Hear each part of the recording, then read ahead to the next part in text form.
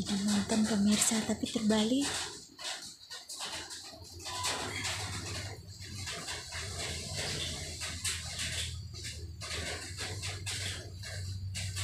Moza. Moza.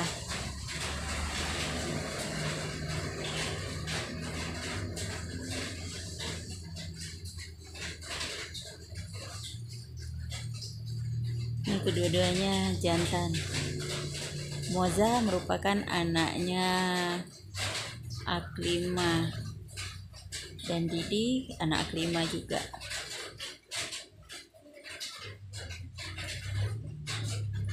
Jangan lupa subscribe like dan komen.